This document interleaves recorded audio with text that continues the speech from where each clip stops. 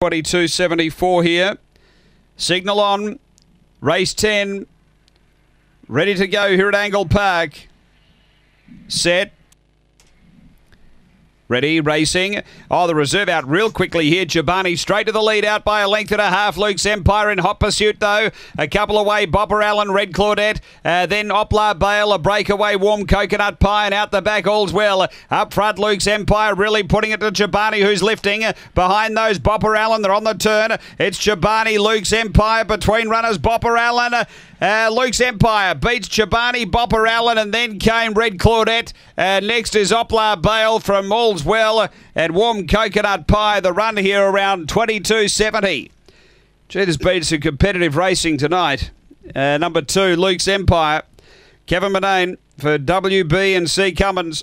A Black Dog made 2014 fabric as liability. Number two first. Uh, just beating Chobani. Number nine, she gave a bold sight. Todd Kelly looking for another one. A Blue Bitch, December 2013. Fizz Aphonica Zadell. And six, third home, Bopper Allen. She was trying to squeeze between them up the running. I'm not sure how much room was there, but she was back in third, beaten, uh, what, about a neck total in the end.